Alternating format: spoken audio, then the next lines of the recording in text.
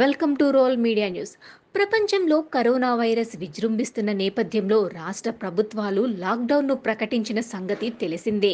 ప్రజల సహాయార్థం ప్రముఖులు విరాళాన్ని ప్రకటిస్తున్నారు. అయితే ఓ ఇంటి యజమాని తన ఇంట్లో అద్దెకున్న వారికి తన వంతు సహకారం అందించాడు. కరోనా ప్రభావం ఉన్నన్ని రోజులు తన ఇంట్లో అద్దెకు ఉంటున్న వారికి అద్దెను మాఫీ చేశాడు. ఆ ఇంటి యజమానిలాగే ప్రతి ఇంటి యజమాని కిరాయిదారులకు అద్దె విషయంలో ఉదారతను చాటుకోవాలని కోరుకుంటున్నారు. మానవత్వం చాటుకున్న ఆ ఇంటి యజమానికి హృదయపూర్వకంగా కృతజ్ఞతలు తెలియజేస్తున్నారు. మరిన్ని అప్డేట్స్ కోసం సబ్స్క్రైబ్ చేయండి Role Media TV. Hi friends మనం ఇప్పుడు హైదరాబాద్ జీడిమెట్ల సుభాష్ నగర్లో ఉన్నాం. ఇక్కడ ఒక టూ ఫ్లోర్స్ ఇల్లు ఉంది. దీని యజమాని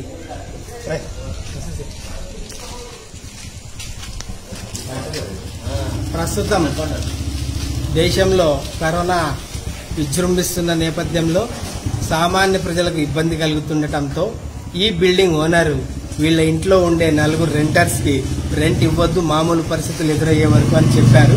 రండి. నా పేరు వినోద్. ఆ జీడిమెట్ల సుభాష్ నగర్లో ఉంటాము. నా బిల్డింగ్ జీ ప్లస్ టూ నా దగ్గర ఆరు ఐదు మంది రెంటర్స్ ఉంటారు. అందరికీ ఒక మామూలు పరిస్థితి వచ్చేంత వరకు రెంట్ ఇవ్వద్దని డిసైడ్ చేశాను అదే విధంగా అందరికీ పిలిచి చెప్పాను కూడా. మళ్ళీ గవర్నమెంట్ ఎప్పుడు అనౌన్స్ చేస్తుందో వర్క్కి వెళ్ళొచ్చని అప్పటిదాకా రెంట్ అవసరం లేదు. రెండు నెలలు పట్టనివ్వండి నెల పట్టనివ్వండి మూడు నెలలు పట్టనివ్వండి. ఓకే. అంతే. ఈయన పేరు అరవింద్ ఈయన రెంట్కుంటారు సార్ ఏమన్నారు మీ ఓనర్ గారు మీతోని? ఈ కరోనా ప్రాబ్లం ఉన్నందువల్ల మామూలు పరిస్థితి వచ్చేంత వరకు రెంట్ తీసుకోండి అని చెప్పాడు. చాలా సంతోషంగా ఉంది. ఇలాంటి ఆలోచన అందరికీ రావాలి. ఓకే ఆశిద్దాం. ఇక్కడ రండి. ఈయన పేరు ఆరిఫ్. ఇర్ఫాన్. ఇర్ఫాన్. చెప్పండి సార్ మీకు ఎలా ఉంది? మీ ఓనర్ గారు రెంట్ తగ్గియడం తోటి చాలా. తీసేయడం తోటి మా ఓనర్కి ఫస్ట్ ఆఫ్ ఆల్ పెద్ద థ్యాంక్స్ చెప్తున్నాను.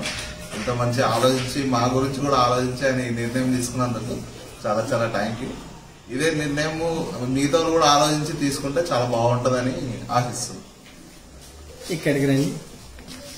ఈయన పేరు ప్రసాద్. ఈయన కూడా రెంట్కుంటారు. మీకు ఎలా ఉంది చెప్పండి? మాకు ఈ వర్క్ లేదు ఏం లేదు కాబట్టి నేను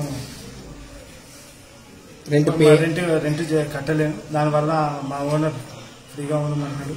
దానివల్ల నేను హ్యాపీగా ఫీల్ అయ్యాను.